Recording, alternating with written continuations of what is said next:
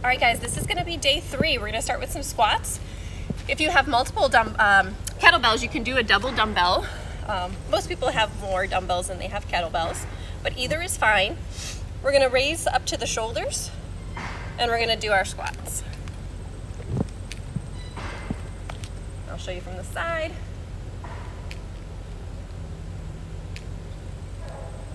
Again, if you have some shoulder mobility issues and getting the weights up here is challenging, stick with the goblet squat that we did on day one, where you're holding the weight at the front like this. All right. Next, we're gonna move into overhead weighted lunges.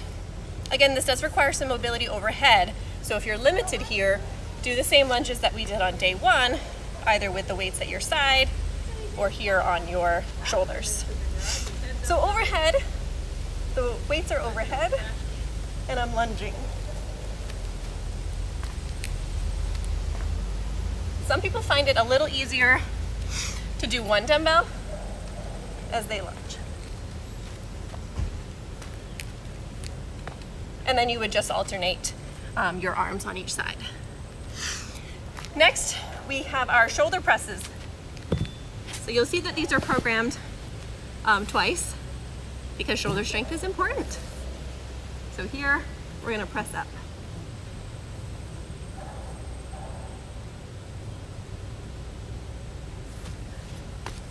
Okay. And the last weightlifting movement for this move is the bent over rows. Again, all the ladies wanna work on this area here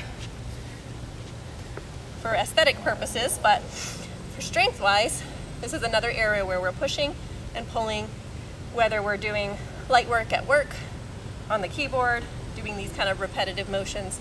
We want these to be stronger so that our traps aren't doing the work, causing chronic neck pain.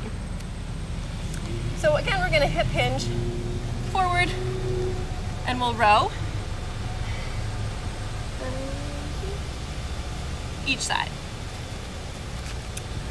All right, and then to finish out, we'll do some core, um, some core work with hollow holds and supermans or super persons. So hollow holds look like this. Start with arms down, shoulders up, and the feet out. This can also be done like this for a little bit modified. Okay. And then it can also be done with legs up and arms out. Keeping in mind that we want the low back touching the ground. So if to, in order to do this, your back arches up, we don't want that. So modify. And then the super person looks like this, where the arms come out in front, the legs are gonna pick up so your quads are off the ground, and the arms are gonna come up. So we're using buttocks and the spinal erector muscles, tightening, strengthening. So again, you'll hold those to your current strength level 15 seconds, 20 seconds, 30 seconds, and so on.